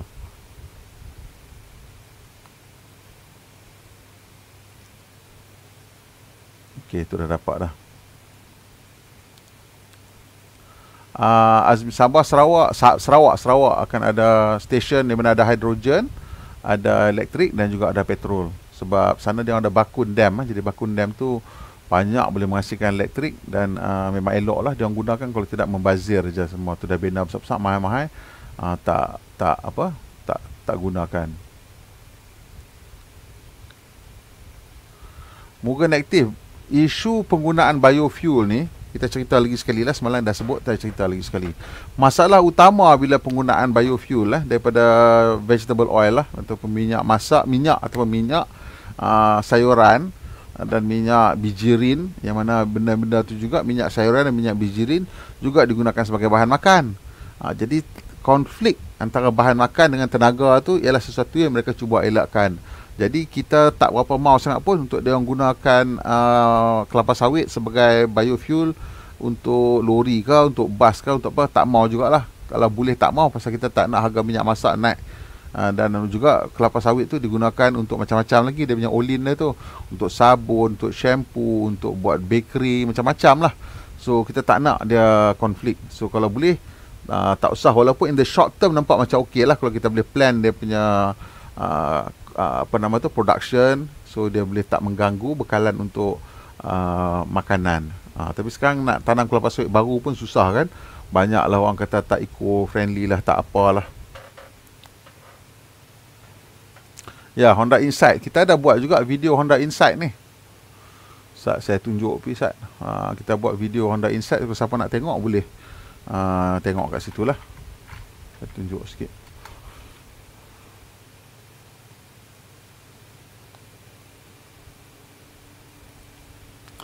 Yang ni kereta ni dah lebih 10 tahun lah kawan saya pakai. Ha, ni Honda Insight. So bila kita tunjuk yang ni, uh, memang uh, saya dapati kawan saya cakap tak ada masalah dia pakai lebih pada 10 tahun tidak bermasalah dan uh, dia dia gembira dia beli kereta ni. So kalau you nak beli kereta second hand untuk try, try lah Honda Insight ni. Ha, tapi yang ni dia punya cara dia lain sikit lah. Dia uh, tak sama macam yang IMMD sekarang ni lah. Ha, yang tu dia panggil IMA, Integrated Motor Assist. So sebenarnya motor uh, elektrik tu digunakan hanya bila kita tekan minyak banyak lah. So dia dia punya pemanduan dia pun cara kita mandu dia untuk penjimatan juga berbeza. Dia orang benci, okey. Kalau kalau kau nak tahu lah kenapa mungkin aktif tanya kenapa kesatuan Eropah, US uh, benci dengan uh, kelapa sawit. Dia benci sebab apa? Sebab lobby daripada industri kacang, soya dan industri jagung pasal minyak jagung dan minyak kacang soya bersaing terus dengan kelapa sawit. Dan dia tahu nak buat macam mana pun tak boleh nak lawan sebab kapasiti ataupun produktiviti kelapa sawit per hektar jauh lebih tinggi daripada soya ke kacang ke apa yang nak boleh cerita. Sebab katalah you tanam uh, soya kan? You boleh tanam berapa crop setahun? Katalah dua crop setahun. So you boleh harvest dua kali. Sama lah dengan jagung pun Yang mungkin boleh tanam dua kali. So you hanya boleh harvest dua kali Tapi kelapa sawit ni tiap-tiap bulan boleh harvest kan? Tiap-tiap bulan boleh cangkui ambil dia punya buah tu. Ada je pokok yang nanti boleh bagi kita buah. So itu yang menunjuk yang yang buat dia, ha-, dia sakit hati hangat hati sangat tu. Sebab kelapa sawit ni ialah sesuatu yang menghasilkan produktiviti yang tinggi dan dia tak boleh tanam kat tempat dia. Bepa ni berdengki nombor satu lah orang putih ni. So dia berdengki lah macam tu. So dia kata macam-macam kat kita. Tapi kalau nak fikir balik untuk dapat the same volume of uh, minyak banyak lagi nak tanam uh, jagung dengan soya dan nak kena tanam dua kali. Jadi penggunaan baja juga lebih tinggi, penggunaan bahan-bahan input pertanian juga lebih tinggi. Dan oleh sebab itu rosak tanah lagi cepat. Dan oleh sebab itu bisa dia monocrop yang jenis very short term, uh, kehidupan liar pun susah nak hidup. Kita kat kelapa sawit, landak ada kan, uh, ulang ada, musang ada, macam-macam datang dah. Rimau kumbang pun kadang-kadang ada. Uh, dia lebih uh, mesra alam sebenarnya pasal satu kelapa sawit boleh hidup 20 tahun. Tapi jagung 6 bulan katalah kan kena tanam dua kali setahun. Uh, soya macam tu juga lebih kurang. Jadi sebenarnya lah tak ada apa kan dia sakit hati macam tu ya sakit hati pasal dia tak boleh tanam dan dia tahu kita punya production uh, capability lebih tinggi setiap hektar Ah, dapat City 200H ni memang sedap lah. Depa yang dah ada ni jarang nak jual. Saya dengar susah agak depa dah memang happy lah dalam kereta tu. Itu pasal dia satu dia Lexus lah. Harga dah masa jual masa beli tu cantik lah kan dengan diskaun macam-macam kan. Tahan lah sat beli EV terus. Tak kalau kalau boleh tahan tahan lah kalau tak boleh tahan kata kereta dah tak elok sangat kan nak kena beli juga uh, daripada beli kereta biasa baiklah beli hybrid. Itu je lah kita punya kita punya message kita hari ni lah kan lah. daripada beli kereta biasa baik beli hybrid. Sekurang-kurang mengurangkan sikit lah apa, pencemaran apa benda semua tu. Odyssey ya Odyssey ni tak pastilah pula. Odyssey ni kalau Honda masuk pun tu CBU kan from Japan lah so dia sebenarnya kalau dia nak masuk boleh je uh, pasal dia brand owner dia nak masuk dia buat masuk je dia apply je government bagilah AP nak buat masuk. Tapi tak tahulah harga macam mana baloi ke tidak. So saya dia tak ni lah.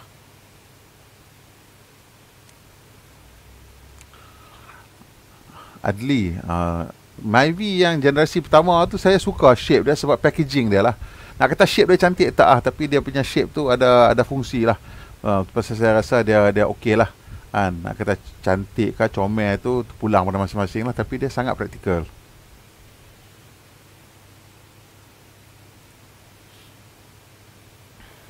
So ni disebab uh, okay. Yang Honda ni tadi tu dia punya tahap dia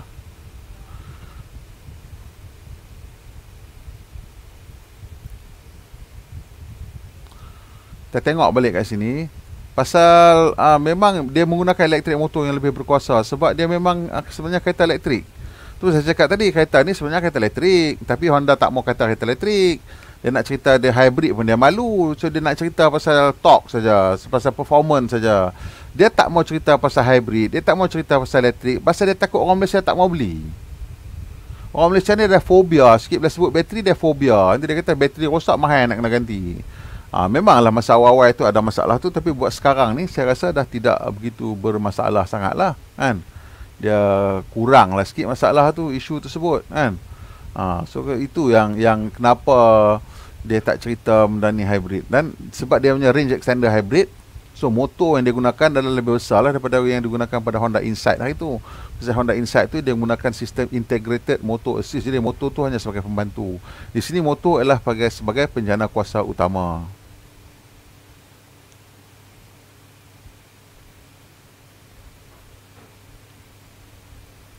uh, Salina Jalil kata engine braking sebab bateri berat. Sebab berat bateri. Kalau petrol lebih relax. Hmm. macam mana nak cakap ah? kalau you uh, kalau you uh, buka throttle habis maksimum memang engine tu akan terus pergi maksimum. Dia macam dia macam um, oh, macam tu. Uh, saya tak tahu memang dia macam oh, dia cepat pergi ke maksimum pasal dia macam uh, ECVT kan. So dia mungkin ada sikit nisbah kat penghujung tu untuk dia main. Uh, so tapi dia bila kita tekan maksimum dia jadi jalan macam tu lah. So mungkin kat situ bunyi tu agak kuat. Uh, kita akan terkejut bunyi dia. Sebab apa? Bila kita start mula-mula langsung bunyi apa pun tak ada. Masa tu kita tekan brake pelan-pelan bunyi. Oh bunyi brake pun semua dengar. So kereta tu senyap. Jadi bila kita tekan Tiba-tiba enjin tu masuk Dia akan bunyi Akan berbunyi. Dia tak sedap Bila dia, dia macam dia start Enjin tu masa uh, partial throttle. Bila partial throttle engine tu rev dia rendah, kita pun kadang-kadang dengar kadang-kadang tak dengar pasal campur dengan throttle lagi dah engine rev naik dan memang akan bunyi kuat. Ha, jadi mungkin itulah dia kata bunyi macam agak uh, kuat sikit lah bunyi dia tu. Ya, sawit pun dah mahal sekarang. Bayangkan kalau dia gunakan untuk bahan api, lagi lah jadi mahal. Uh, berbanding dengan jiran nak kata lembab iyalah betul lah. Uh, terutamanya kalau banding dengan Thailand lah. Dengan Singapura kita tak payah banding pasal dia tak ada industri otomotif uh, tempatan dia yang kita ada cerita tu Hyundai pasang uh, macam experimental factory lah dekat Singapura. Tapi Singapura dia import je. Dia tak ada masalah cukai kan so dia import je lah suka daripada mana dia nak. So dia orang tak ada uh, local industry. Tapi dengan Thailand yes kita nampak bahawa Thailand dah maju lebih ke depan dah ada kilang dah kereta elektrik di tempat dia. Daripada Mercedes-Benz daripada Great Wall Motors. Yang MG tu saya tak pasti. Sama ada pasang lokal ataupun bawa masuk daripada daripada China. Dan Indonesia uh, kalau nak kira bandingkan lah yang keadaan apa yang ada sekarang kita masih lagi di depan sikit lah. Kilang-kilang kereta kita di Malaysia ni menghasilkan produk-produk yang agak-agak lebih canggih sikit. Tetapi disebabkan uh, Indonesia dah memujuk China masuk dengan agak besar uh, untuk membuat uh, pelaburan pembangunan nikel untuk penghasilan bateri kereta elektrik uh, saya rasa dia orang ada berpeluang akan memotong kita dalam masa yang terdekat. Dan of course saya tahu you kata mungkin Vietnam lah Vietnam dah hasilkan kereta elektrik kan. Uh, yang itu betul lah. Tapi yang Vietnam tu kita tak tahu berapa ramai juruta tempatan yang digunakan lah untuk menghasilkan produk tersebut macam kita di Malaysia ni ada lah sikit juruta tempatan not not that we say that kita boleh buat kereta elektrik because kita ada juruta tempatan ni tapi uh, macam itulah cerita dia kan hmm. Jadi uh, bukan uh, bukan gagal macam mana nak pasang kabel tu nak pasang kabel daripada Sarawak nak pergi ke Semenanjung. Yang tu tak pasang. Dia tak pasang tak boleh hantar power pergi Semenanjung lah. Dan uh, mungkin dia orang tak pasang pun atas dasar-dasar apa, saya tak pasti politik ke. Mungkin orang Sarawak kata, dah lah minyak aku hang ambil, elektrik aku pun nak ambil. Dia kata, tak usah. Ah, tak usah duduk lah, tak kata apa. Kan? Uh, so itu saya rasa sebab kenapa dia orang tak pasang tu, kos tinggi nak bawa elektrik tu lintas uh, Laut Cina Selatan, kemungkinan, kemungkinan besar dan juga mungkin orang Sarawak kata tak payahlah dalam nak pasang tu belanja duit persekutuan yang untungnya siapa untung semenanjung Sarawak apa dapat kan? Dia orang sensitif lah benda-benda macam tu dan kita pun kena faham kenapa lah. Pasal memang kalau kita tengok kadar perbelanjaan antara semenanjung dan Sabah Sarawak tu memang hmm, tak seimbang lah kita katakan lah. Hmm.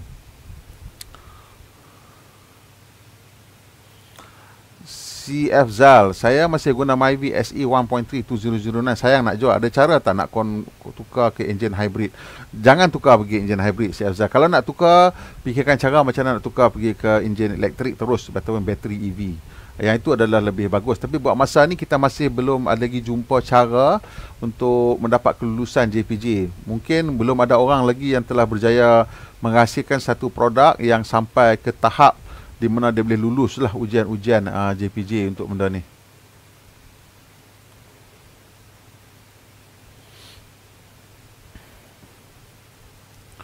Ah, so sekitar ni lah harga uh, jumlah-jumlah tok dan kuasa yang dihasilkan oleh motor untuk range extender EV.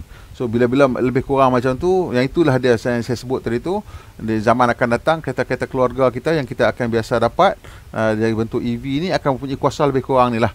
Dalam 150 horsepower tu uh, 150 160 horses dan maybe sampai uh, at, at most 300 Nm torque. Tapi 250 to 280 tu lebih rather about normal dan kuasa tu daripada 100 sampai 150 lah kuasa kuda.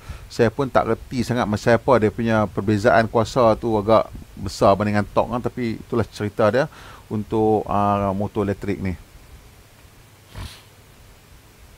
Berbaloi tak kalau saya trade in HRV 2016 dengan beli Honda CTRS uh, Huzaifah Sulaiman itu dua kenderaan berbeza jadi saya nak cakap pun saya tak berani. Maksudnya yang HRV tu ialah uh, crossover kan? Uh, crossover hampir nak SUV juga. Dan yang ni ialah sedan. So size tu dah berbeza. Adakah betul you boleh boleh terima size Honda City bila you beli? Saya takut tu je. Dia punya uh, use case dia lah. Uh, cara awak menggunakan benda tu. Kalau memang you dah biasa dengan ruang barang yang ditawarkan oleh HRV tu dan ruang kursi Ha, dan nak kalau nak pindah begini jangan cerita tentang berbaloi tak berbaloi itu dulu. Tengok kereta tu sesuai tak dengan kegunaan kita. Kadang-kadang kita tengok mungkin harga ada penjimatan, mungkin dia punya bahan api ada penjimatan, tapi kereta tu tak sesuai dengan kegunaan kita jadi sakit hati je. Jadi pertama-tama sekali jangan tengok kereta tu EV ke apa kan macam biasa je kita buat. Adakah kita sanggup dan sesuai untuk berganjak daripada crossover pergi ke sedan ni? Kalau you rasa Uzaifah kata okey dan uh, dia dan dia berbaloi uh, nak kata berbaloi uh, macam mana pun pasal nak merasa kan? Nak merasa teknologi kereta elektrik so dia berbaloi lah. Uh, tapi kalau you rasa ruang tu tak cukup sempit barang apa semua dan jangan jangan uh, jangan buat keputusan macam tu lah. Kalau you dah tengok dah dua-dua dan you rasa you sanggup nak sacrifice sebab you nak rasa teknologi baru, then it's okay, then it's okay, then it's fair, then it's fine. Uh, Nissan punya e-power betul tak ada di Malaysia lagi. So saya pun uh, tak tahu kenapa tak tak dapat masuk. Tapi saya kira Nissan ni dia lebih konservatif ah. Dia nak tawarkan hybrid dia cukup seriau lah. Pasal benda tu dah lebih kompleks dan permintaan kurang. So itu pasal Nissan yang Sentra tu tak ada yang uh, yang uh, apa nama kalau ada pun version-version yang e-power kita tak dapat. Apa-apa pun version-version kereta yang ada e-power kita tak dapat pasal tancong agak konservatif dengan teknologi-teknologi baru ni dia agak, agak risau dan menakutkan. Ada probability tak problem steering rack? Kenapa Honda City sebelum ni ada problem steering rack ke? Kalau ada, saya pun tak tahu.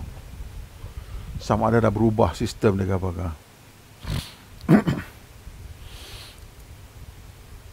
Cherry ya.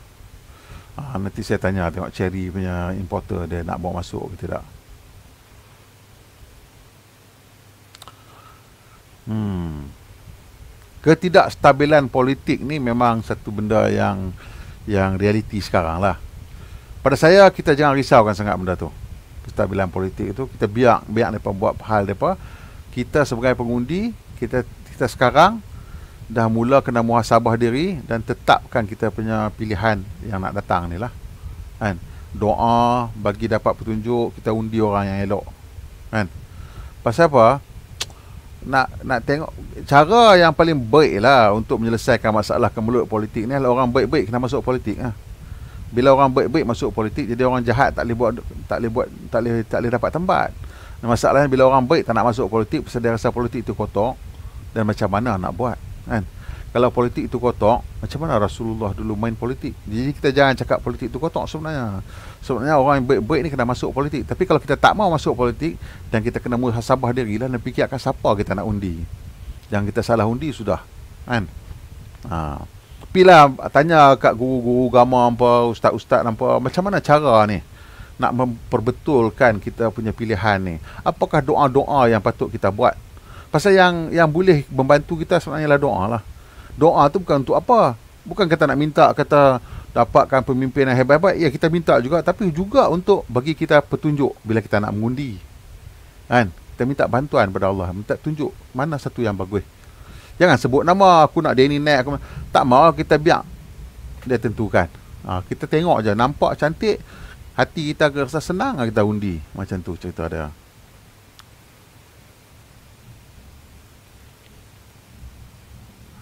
Ya, jadi memang kos tu tinggi dan uh, kalau kalau pakai kabel kecil dia panas lah. Uh, dan dan ini yang kos tu yang menjadi utama sebab kos tu datang daripada bajet federal kan. Selalunya bajet federal lah belanja banyak itu paling kurang dapat lah. Bumbung kereta guna solar panel boleh ke? Okey. Uh, from Tom Yam FM Tom Yam House TV. Oh, nama. Uh, memang ada orang dah duk cuba buat kan. Selesa dekat uh, Eropah ada company yang cuba pasang solar panel. Jadi yang yang terbaik itu pun yang yang kita tengok daripada Denmark ke mana tu, dia kata kalau hari terang elok cantik dapatlah tambah mungkin 2 3 kilowatt ke. Kan. Which kalau on a small battery is like 10% lah. Kalau dalam bateri biasa yang 60 kilowatt macam tu dalam 5% lah. Jadi 3 uh, 2 3 kilowatt ni adalah uh, 1 kilowatt biasanya boleh dapat dalam 8 lah. 7-8 km lah. Kalau kita 7 dan dapat 21 km lah. Free. Free minyak lah. Bila kita parking tengah panas. Ha, Tapi tu dah lah nak kena parking kereta tengah panas ya. Hampa parking kat tengah panas kan Hampa parking kat basement. Kalau kereta parking kat basement nak cerita apa ni Saya pun tak faham. Pasal bila kita tengok kereta yang bumbung solar tu Kita heran juga. Hampa parking kereta kat mana?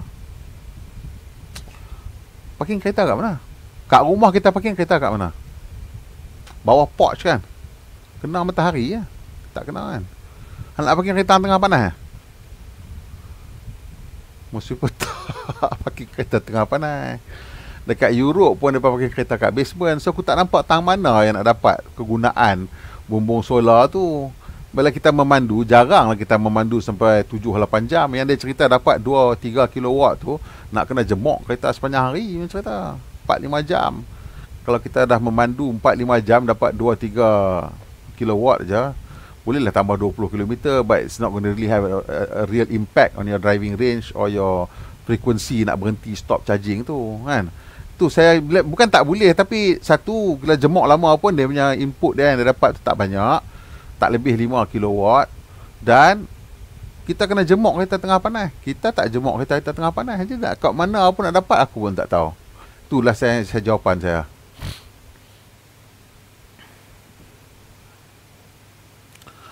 Okey. Ah, okey. Jadi maintenance tu elok Pi bisik dulu dengan orang Honda Tengok dulu betul-betul. Tanya salesman betul-betul. Ha, Maintenance macam mana. Ha, Pasal HRV pun kereta yang tak ada lah dengar kata Serious problem ke apa pun dah kot kan. So dia punya maintenance pun average. Ha, Jadi pi check dululah. Dia penjimatan bahan api tu ya real betul. Ha, Tapi check dulu betul-betul Jadi di Sepang tu hari tu konflik kan dengan dengan dengan Prodor punya event jadi saya tak dapat pergi. Jadi saya kena tunggu dapat kereta lah. Tapi saya sekarang ada Honda City RS yang sedan punya yang saya duk bawa. Dan memang saya rasa suka dengan kereta tu. Ha, itu yang saya boleh cakap sekarang. Pasal kereta tu memang senyap lah dalam elektrik punya mode. Biasalah kan lah. Dan bila kita bawa relax-relax lah. Kalau kita bawa press dan enjin tu bunyi agak-agak kuat lah. Kan.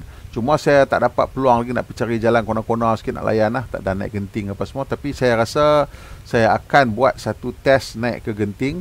Nak tengok bahawa mungkin tak sampai ke genting habis. Mungkin kita naik sampai genting sempah. Kita turun balik. Sampai kita turun balik nak tengok dia punya uh, regen macam mana. Atau mungkin kita naik ikut jalan gombak dan turun balik. Kan? Pasal satu naik, satu turun bukit kan. Uh, jalan kona-kona. So sama ada bahawa banyak balik kuasa dia boleh recover. Uh, kalau lalu highway saya kena bayar tol pula kan. Uh, so ataupun kita naik daripada Ulu Yam naik ke Genting kita tengok dia punya kadar uh, recovery dia macam mana. Kereta tu motor dia kecil jadi dia punya recovery tu akan cepat penuh balik dah. Kalau kereta besar enjin uh, uh, bateri besar macam kau abang Eco Mode Fashion dia kata dia try kereta kereta saya tak pasti Zoe dia kot dia buat dia turun balik tu dia boleh recover lebih kurang 80% uh, tenaga elektrik yang digunakan untuk panjat bukit tadi.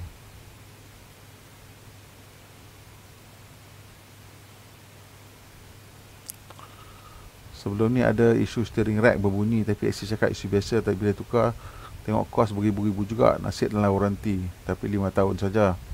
Benda-benda macam tu kadang-kadang ah dia nasib ah. Nasib baiklah you punya tu rosak dalam waranti.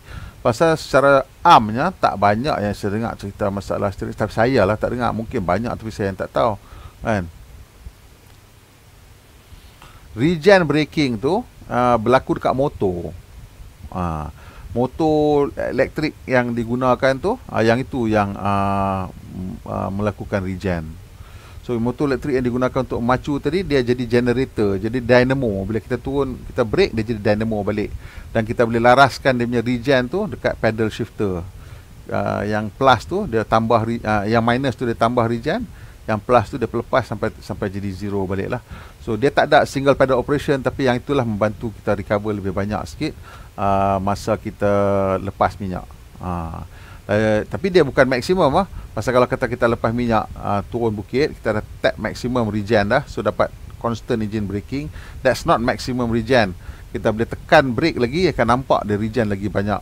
Uh, tapi mungkin itu some kind of tak tahulah ada balance in terms of what ke untuk mengelakkan terlalu banyak uh, regen ke kadang-kadang terlalu banyak regen pun apa yang berlaku ialah tak kena kena pecut balik kan so pakai tenaga balik so mungkin dia ada some optimum punya level lah kan saya pun tak tak berapa pasti saya, saya belum dapat uji yang itu dengan betul-betul. Tapi bila braking tu berlaku pada motor. Friction brake tu hanya guna bila selalunya lah bila kereta elektrik ni macam yang Honda City ni pun. Dia punya friction brake tu kalau you suka pakai regen braking ha, bila pakai regen braking ni dia kena lepas minyak wise sikit lah. Kan? Kalau geng-geng yang suka brake kuat ni lepas minyak lambat brake kuat pakai hybrid pakai ni semua buang masa je dia tak tak dapat membantu meningkatkan pengguna meningkatkan ke penjimatan penggunaan bahan api. So kita lepas awal sikit, bila kita lepas awal sikit kita tap tap kan tambah regen.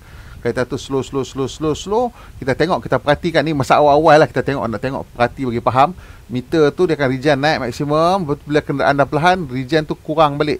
Bila sampai lebih kurang dalam 10 km dia habis zero boleh regen. Tapi kereta masih lagi bergerak. Eh, maksudnya time tu kita kena tap brake sikit lah. Tapi itu sebagai secara teknikal bila kita memandu kita akan tahu lah kita akan uh, nampak macam macam ni tak boleh berhenti. Sampai habis ni ada sikit dia kena brake. So kita brake lah sikit tambah. Uh, yang last tu sebenarnya menggunakan friction brake. So that's why dia punya kadar penggunaan brake pun boleh berkurangan. Tapi semuanya bergantung kepada cara memandu lah huh? So Tesla memang selalunya buka direct kan. So sekarang ni Tesla tak masuk lagi pasal dia mungkin belum perhatikan Malaysia ni dan tengok apa polisi-polisi yang kita gunakan. Sebab dia jarang nak masuk kalau polisi tu dia tengok macam short term. Dia tak mau dia mau long term. Pasal dia punya goal ialah long term. Kalau you, you macam nak ni dia kata ah, tanpa pandai-pandai lah nak masuk recon kan nak masuk apa ke tapi bila dia datang dia memang dia datang uh, secara direct lah uh.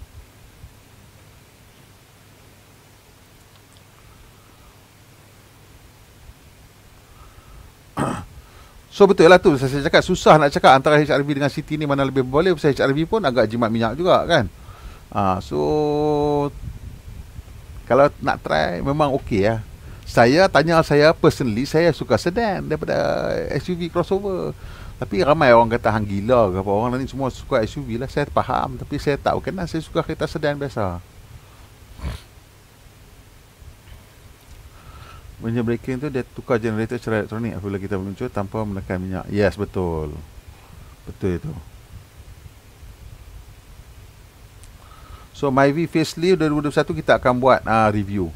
Uh, dia akan buat review penuh lah. Maksudnya test semua benda lah. Berjaya dengan DCVT dia. Dia punya entertainment system dia. Macam mana Android Auto, Apple CarPlay dia. Macam mana dia punya adaptive cruise control. All the safety features. Kita akan cubalah tunjukkan tu nanti.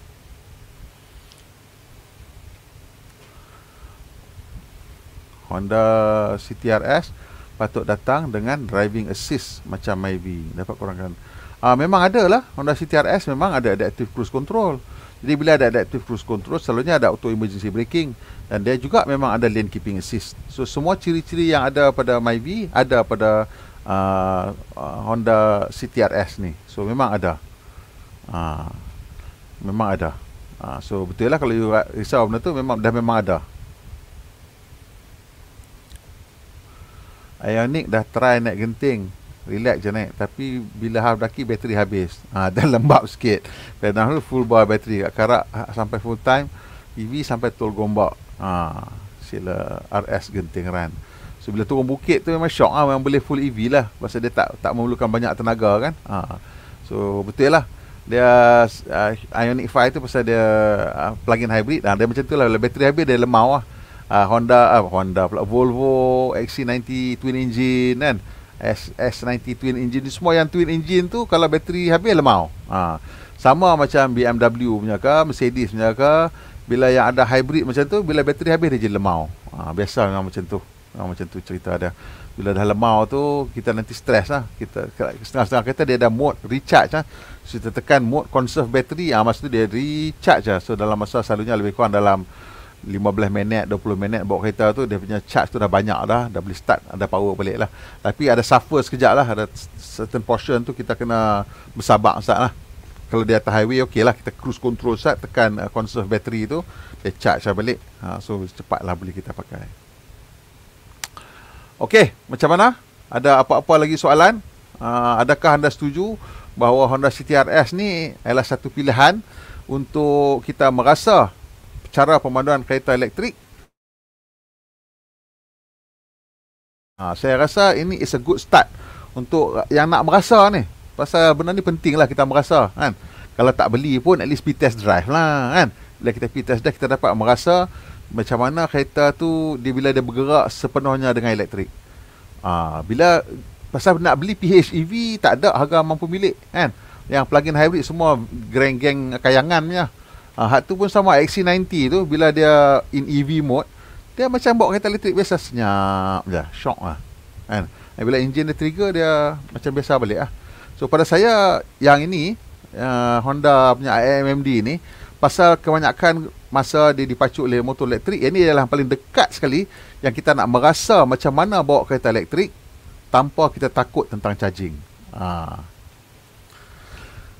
Nanti ha, minggu minggu depan adalah kot review ni. Tak minggu depan minggu lagi satu. Pasal kereta dekat tangan dah. Tapi saya dapat yang hari ni adalah yang sedan lah. Dah dapat dah itu hak sedan. Dia punya saya punya hard drive kong. Habis semua footage tu minta lagi sekali untuk reshoot balik. Okey Okey, Link Co ah. Rofik Roslan tanya. Link Co ini dia punya pengumuman itu Jili yang sebut 2025. Version mana, model mana sama ada yang elektrik ke, yang apa hybrid ke saya tak tahu. Belum ada berita lagi. Bila kita bisik-bisik yang kawan-kawan kat dalam pun dia macam ah, tunggulah sat, tunggulah sat mungkin dia tengah uh, berbincang lagi atau masih lagi membuat kajian lah. Kan? So belum ada lagi uh, clear indication uh, model mana yang akan masuk. Uh, dan macam mana dia nak buat kereta tu pasal kereta tu pricing dia agak tinggi ya. So kita tak tahu lah kat Malaysia ni dia main macam mana dia punya pricing. Unless dia buat masuk yang EV punya version lah. Kalau dia masuk yang EV punya version uh, 0000 tax tu mungkin harga dia lebih menarik. Uh, tapi jangan risau lah, jangan risau. Saya rasa company Proton dan Pro2 ni dua-dua pun tengah uh, berusaha macam mana nak menawarkan pada kita kereta elektrik ataupun setidak-tidaknya kereta hybrid. Jenama tak pasti bang. Ha, jenama tak pasti. Sama ada dia masuk as Link and Co ke, dia masuk as Watt ke, kita tak tahu. Tapi yang pastinya, Proton memang di sekarang ni macam dia jadi center untuk right hand drive engineering untuk Geely. So kalau kata Link and Co tu tak ada kereta right hand drive, dan datang sini Proton akan buat lah. Kalau dah memang ada, tak apalah. Kita datang untuk testing mungkin tropicalization ke apa lah. Kan? So bila dia masuk sini, saya tak tahu sama ada dia akan guna jenama Link and Co ke guna jenama Proton ke kita tak tahu tapi dia sebut Link and Co lah so ada kemungkinan dia masuk uh, dengan nama Link Co lah tapi mungkin Proton ada bantuan lah untuk buat dia punya sekarang ni lah sebab tu ada kat tangan Proton lah sebab Proton ada full R&D facility ya so dia tengah buat mungkin tropicalization kan uh, local punya preparation lah untuk kereta tu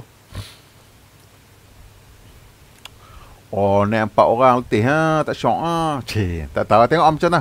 Saya net tengah-tengah minggu selalunya. Saya tu tak ada orang nak bawa nak ajak siapa orang kerja kan. Saya seorang-seorang net selalunya. Kalau ada anak-anak baru habis dah habis sekolah ke dia kata petang tak ada aktiviti saya bawa lah seorang kedua kan nak ikut kan. Presiden Perkemah Datuk Zainal ya Zaiba.